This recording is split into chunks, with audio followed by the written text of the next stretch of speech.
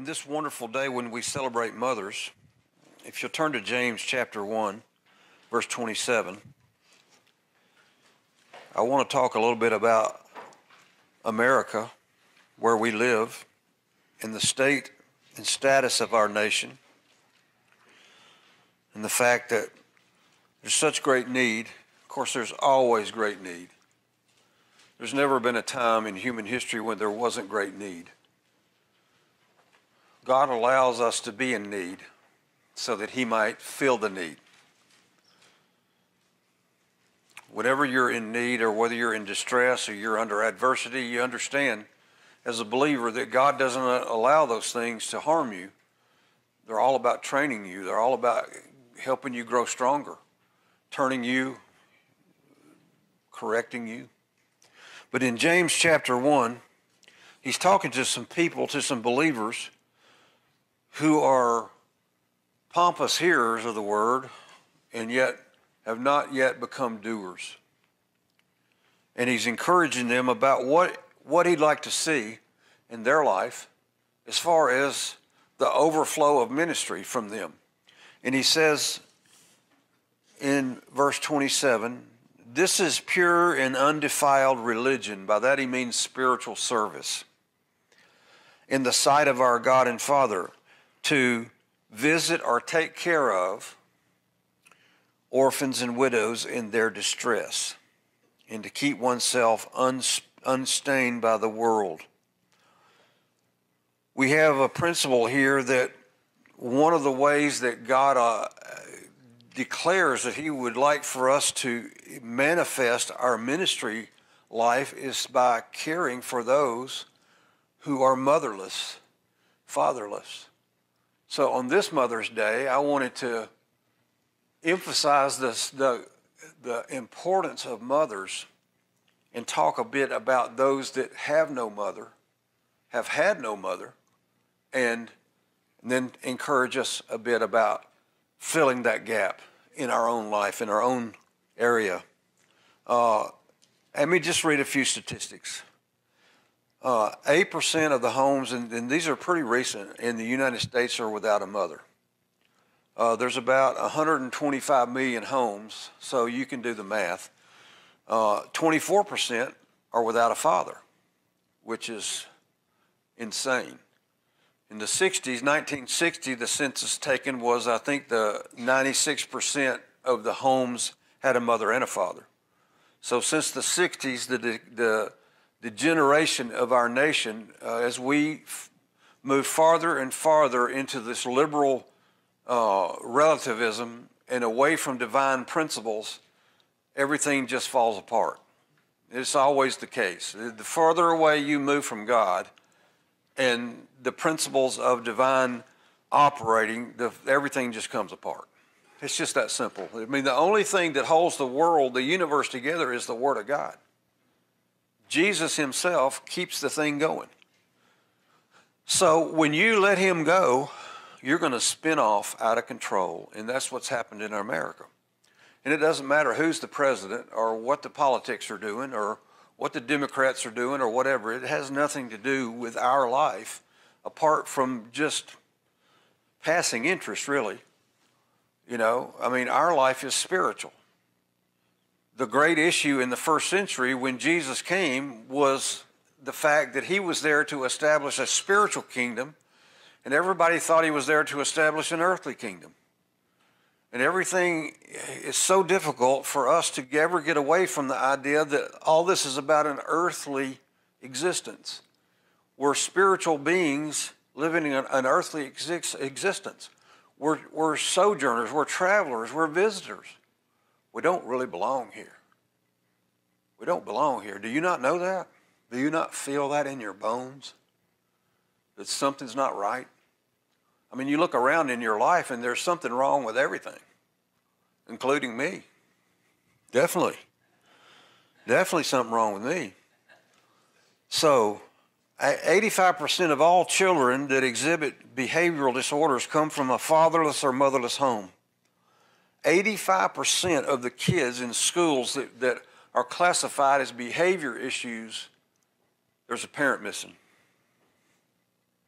Listen, bad parenting is better than no parenting. It's better than no parenting. Now, there is a line. Abusive parenting, physical abusive, is not good. No one's advocating that. But 90% of all homeless and runaway children are from fatherless or motherless homes. 71% of all high school dropouts come from fatherless or motherless homes. And, and 75% of all adolescent patients in chemical abuse centers and rehab come from fatherless or motherless homes. So when, when a parent drops out, and listen, especially a mother, ask Timothy when you get to heaven. If it hadn't been for his mother and his grandmother, yeah, I mean, they did the job without a father. They did the job. It can be done. It's doable. Now, Timothy missed some things.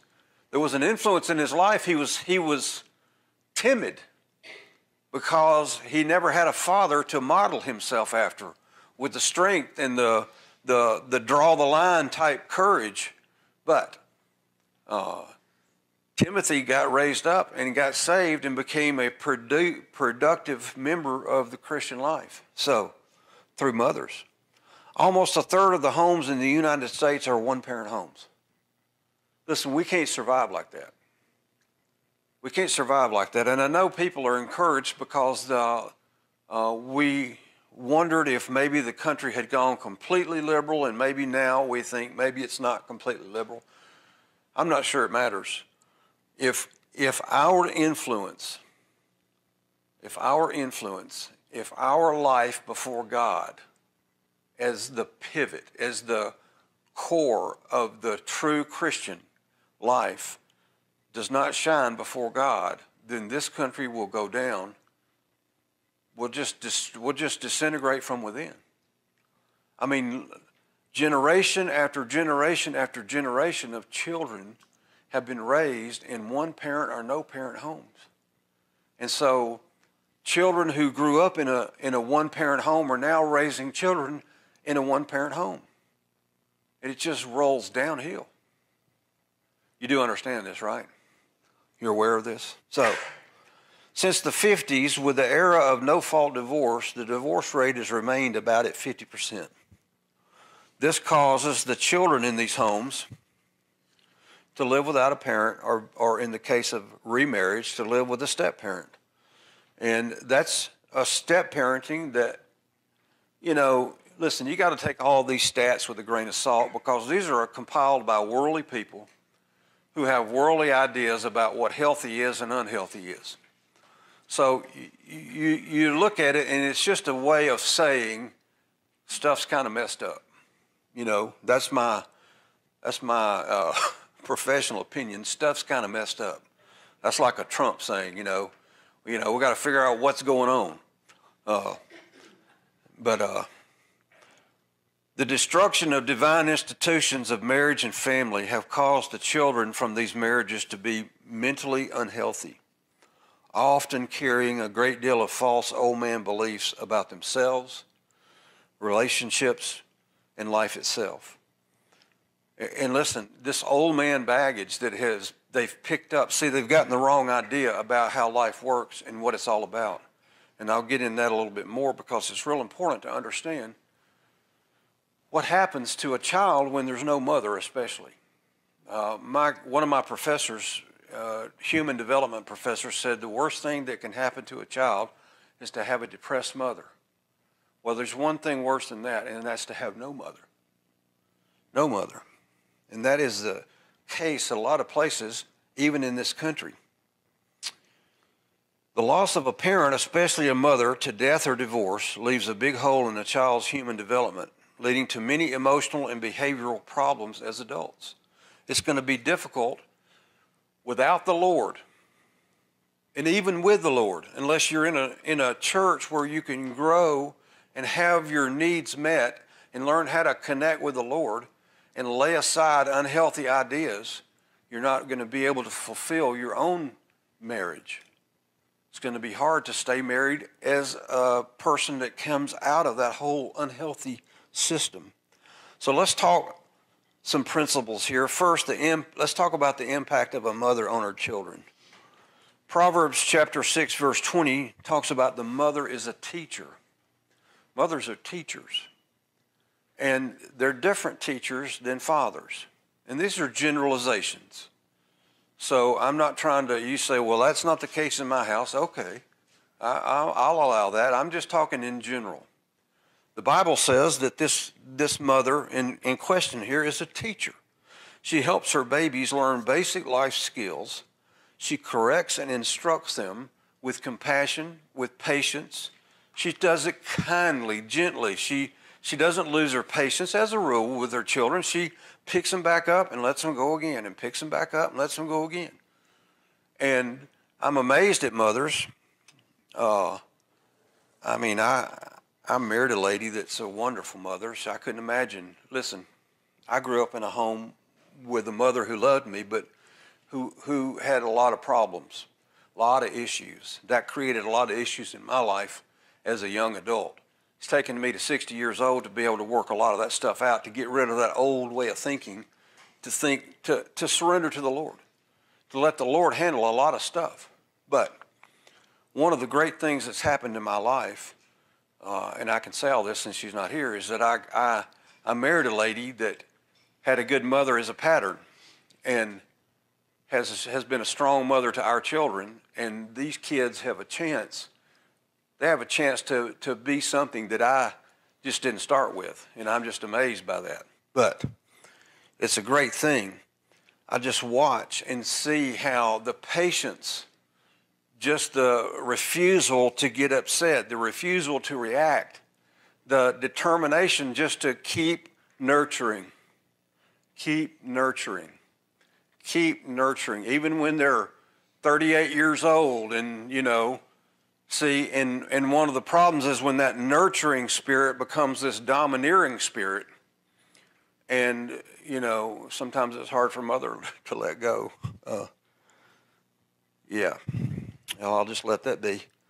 Uh, in Proverbs 31 26, it says, A mother, this mother speaks with wisdom, and faithful instruction is on her tongue. She gives wisdom. She's a teacher, she's an instructor, she's a guide, she's a loving, nurturing, powerful, love giving maniac. Uh, a mother's bond with her baby teaches the baby that love exists and is available to the child.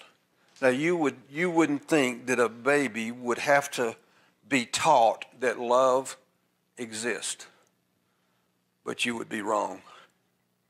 Because without a mother to teach a baby that love exists, the baby doesn't know that exists. I'll show that to you in a minute. Women are uniquely designed to give love in the form of compassion and tenderness. Just, just, just designed for it. Just designed for it. I love, to, I love to hear women when they're happy. The women, when they're happy, they sing. When they talk, they sing. You ever heard that? They just, are, just sing. Their little voices are up and down, and children love and respond to that type of animated uh, uh, expression of love.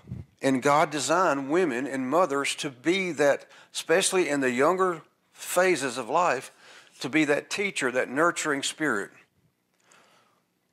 Mothers teach through play. One of the great lessons is through play. Mothers play with their babies. They teach them through daily living to develop habits and patterns of behavior. Uh, now, the child becomes aware of the existence of love, warmth, compassion, and help for living out their life. They become aware of it through mother. Now, when there's no mother, father can, can provide that kind of nurturing, but it's not the same. It's not the same. Mother's patience and tenderness allows the child to fail repeatedly without being chastised. She encourages him or her to get up and go again. Just remember Rhonda helping our kids learn to walk. Just, you know, when they'd run right into the wall and, you know, I'd go, have to laugh a little bit, but she'd just go over and pick them up, you know, dust them off, go again.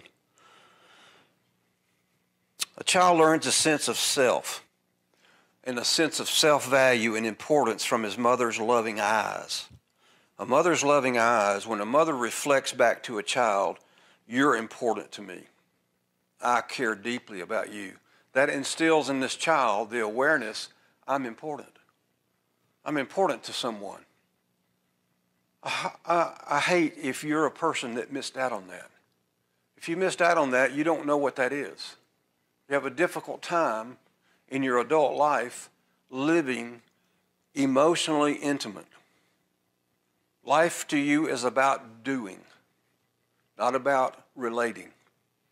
And all, listen, with the Lord, the Lord is all about relating. Doing comes from relating. Period. It's all about relating. Listen, God doesn't need us to do anything. Do you don't you don't think He created this He created the universe with a spoken word. And He needs me? Jesus said if the people were silent, the rocks would preach the message. He could do better with a rock.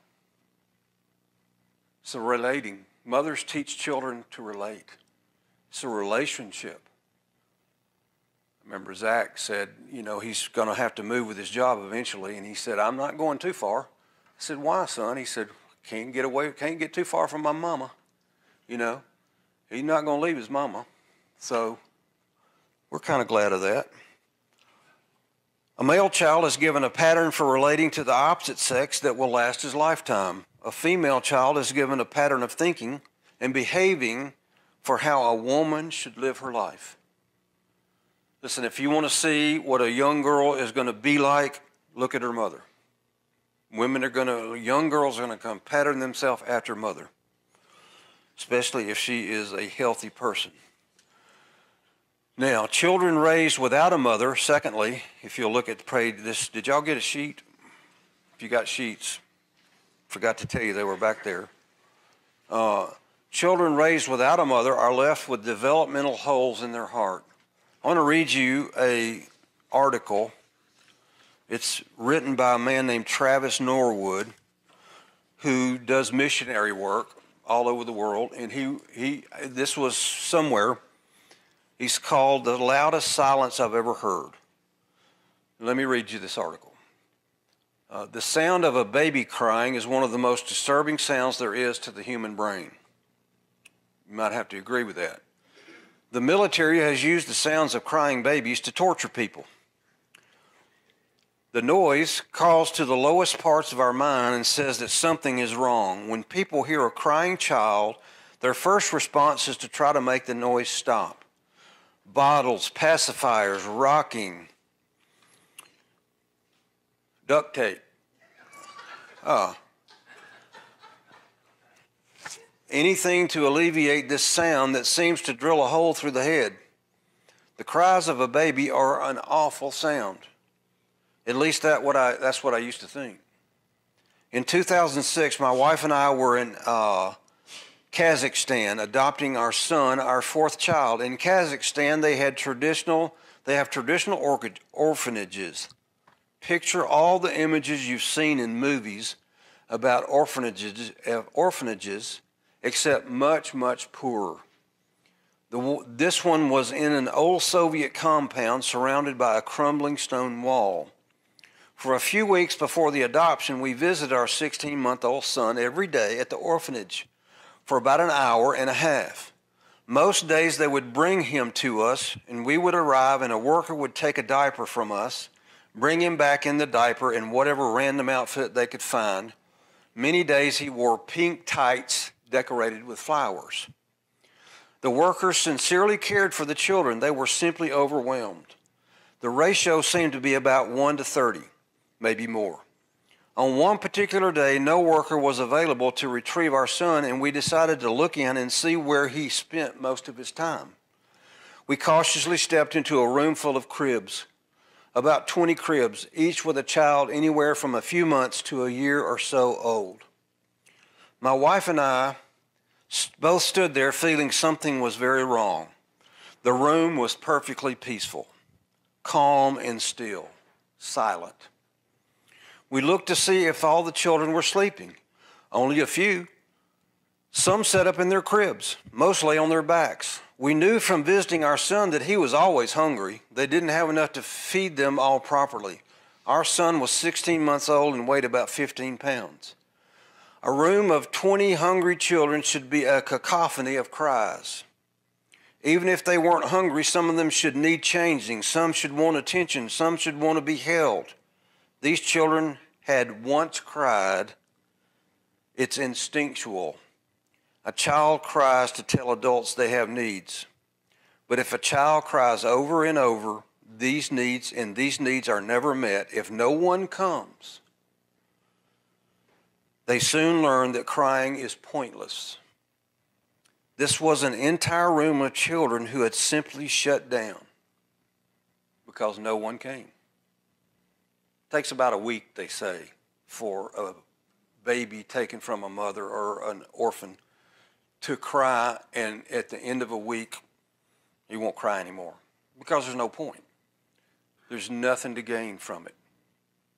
Do you think that's not developmentally difficult for that person? But he says, if the child cries over and over, these needs aren't met. Uh, this was an entire room of children who had simply shut down. At that moment, if they had asked me to adopt them all, I would have had taken them. Crying is the sound of life. The child is saying, I believe someone will meet my needs, someone will come, someone loves me. Crying is a prayer. It's a beautiful sound. And on he goes. But you see the point.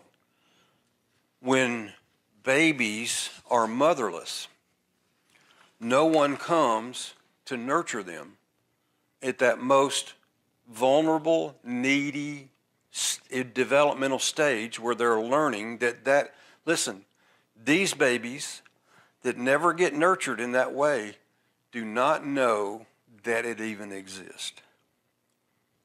They say, What is love? I don't understand what love is. You talk about love, and then one day this child grows up and gets married, and their, and their spouse, who's probably more of a healthy person, says, Why is there no intimate love here? What does that mean? It's called an attachment disorder. Now, I've given you a, just a, a definition a reactive attachment disorder of infancy or early childhood is a problem in which a child is not able to easily form a normal or loving relationship with others. It is considered to be a result of not forming an attachment to any specific caregiver when very young. So this child goes through this stage where attachment is what's supposed to happen. The bond with a mother is to form, and it never does. There is no mother to form that bond. And therefore, this child goes completely through that phase. You know, it's like, it's like going through the phase of learning to walk without ever, without having any legs. You know, there's no stimulus to allow the child to, to know there's something that will come back. There's, there's love to be gained. So, the child enters life as a blank slate. All children do, and they know nothing and have experienced nothing. But the child comes into this world feeling the need for love, warmth, attention, affection. And this child cries instinctively, naturally, for someone to meet those needs. If you've had children, you know this. If there is no one to respond, especially a mother, the child passes through this bonding and attaching phase without experiencing any love or affection. Uh, Rick was saying yesterday at the prayer that the, he heard stories about the Soviet Union when all of that came apart over there, these just hundreds and thousands of, of children that were abandoned and put into orphanage, just rooms with, with hundreds of, cri- of cribs and baby beds just full of children in this condition, in this situation, who later on would be adopted and, and become nightmares for some foster parents. But Having passed this critical phase without having had these needs met, the child will conclude there is no such thing as affectionate love.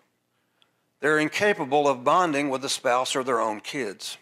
Listen, life becomes about just doing, not feeling, not connecting, not relating, just becoming a doer. You're a good provider, you show up, but you don't know how to give affection.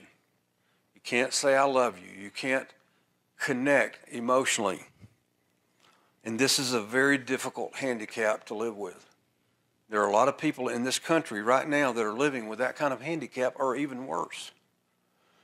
So far, the field of psychology has deemed these problems as permanent and insolvable. My professor said, We don't know what to do. There's nothing. I mean, once you pass through that phase where bonding should take place for as a baby, I mean, this is a rudimentary core level. I mean, this is the core of the belief system. This little baby, this is, they're developing their very core heart and soul. And if they miss this, how do you ever go back and give them that? Let me tell you the only way you can do it Jesus Christ. Jesus Christ is the only person that can open up the heart, can open the shut door of the heart. Because, see, what they do is they shut down. They quit wanting what they can't have. It's what we all do. Instead of going to God and accepting the fact that we can't have what we want, and so we change what we want to what He wants for us. See, that's the Christian life. As a little baby, you don't have that capacity. You can't, you're not even saved. You don't even have God at all. That's why the old man stuff is so important to understand, is because you formed all of that in you without God. Really, really messes you up. But, but listen, only Christ can open the shut door of an empty heart that hungers for what this person doesn't even know what they hunger for. Doesn't even know. Thirdly, you, the United States is filled with children who've been abandoned, neglected, abused, and used. They need Christ. This is James 127. This was the situation in first century Israel. In James 127, he's talking to pompous hearers of the word who have not yet become doers of God's will. A time, listen, this was a time of extreme hardship in Israel. There was a famine, there was persecution, big time.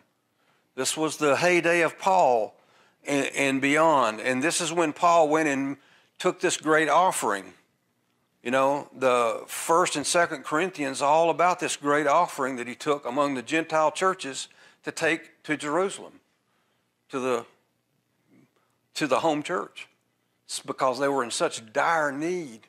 And listen, parents who had been converted to Christianity were being put in jail and executed, and their children were just abandoned. So who took them? The church.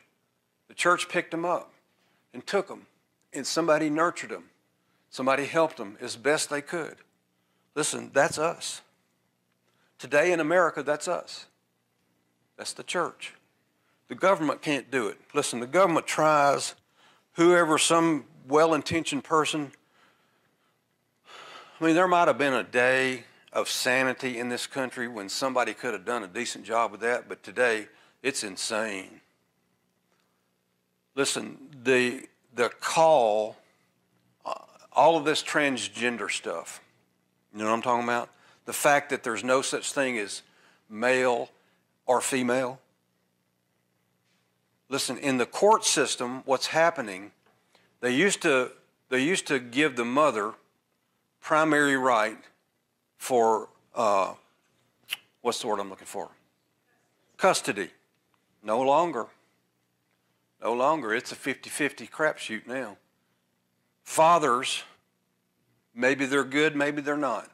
Listen, this whole idea that a mother is more important than a father, forget that because that would be discriminating. That might hurt somebody's feelings. So, it's insane where we're going in our country. Of course, it's the devil, and he's trying to destroy freedom trying to pull his, his whole world together. But this was, the, this was the situation in first century Israel. A lot of children who lost their parents and made orphans. Their real, James is telling them the real spiritual service is look, look, you come to church and, you, and you're all pompous and you give your money and all this and you're wealthy and you've, you're well to do and you think that you've got it going on and everything. But look, here's a real spiritual service. See these people in need, these widows and these orphans? There's your service. There's your service.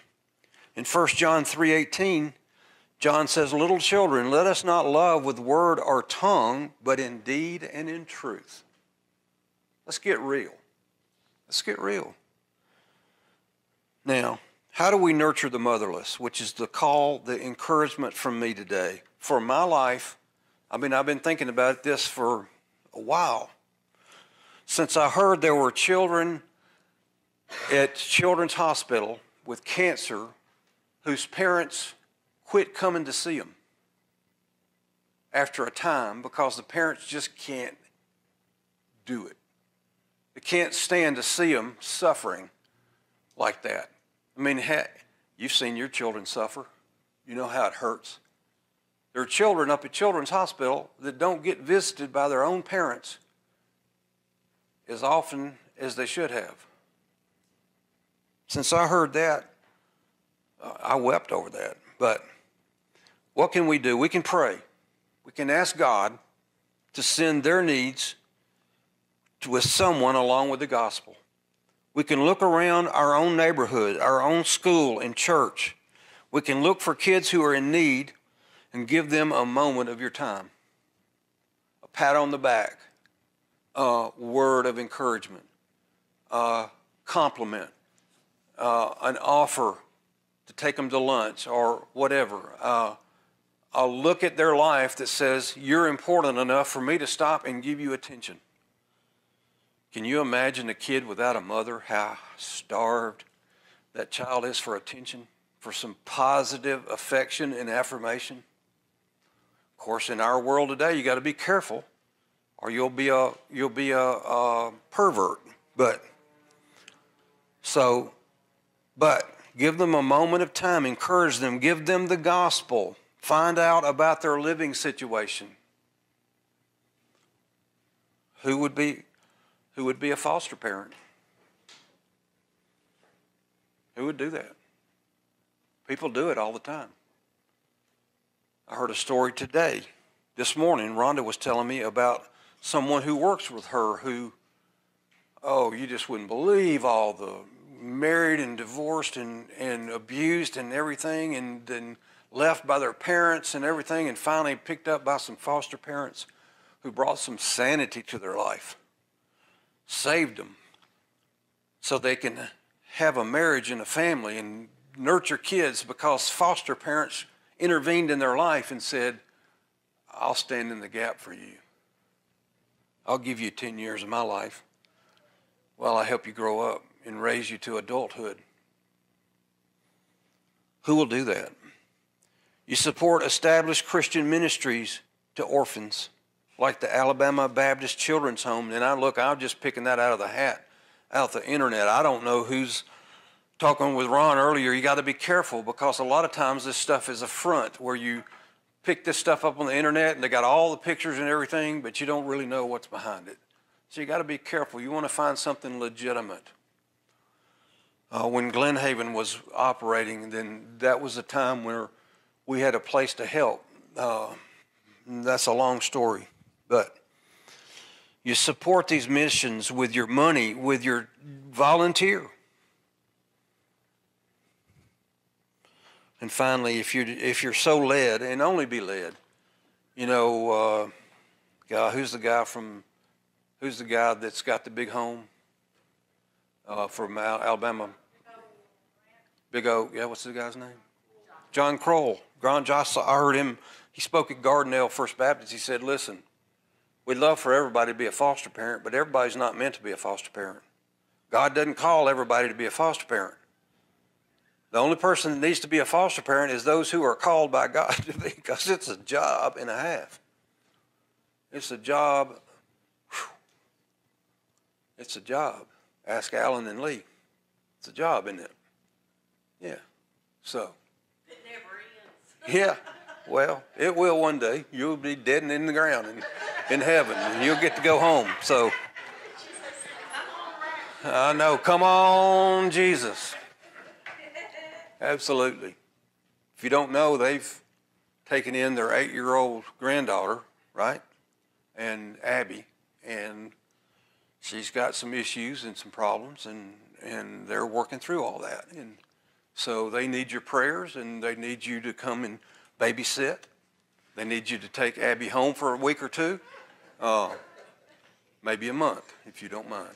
Uh, so let's let's let's go to the Lord and pray about this. well, Father, it's a great day to celebrate mothers and how important they are in our life. I thank you for my mother who loved me with all she had.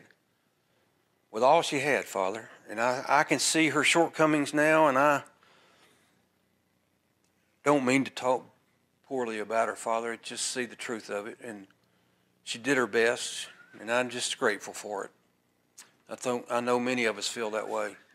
I'm just grateful to see wonderful mothers, and, and the lady I married is a wonderful mother and nurtures my children, and I just am so grateful. And I pray, Father, for our nation that we could get back to some common sense. I pray that you would take these liberal people, these people who are confused about what is good and right for a, a child, and I pray that you shut their mouths.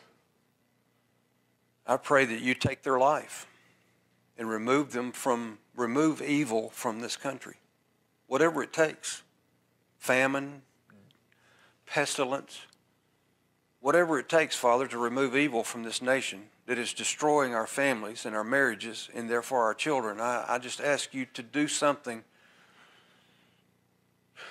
to help these kids. And I pray that you'll prepare our hearts and make us willing to do whatever, whatever you call upon us to do. And I just pray all this, Father, in Christ's name and for your sake, for his sake. Amen.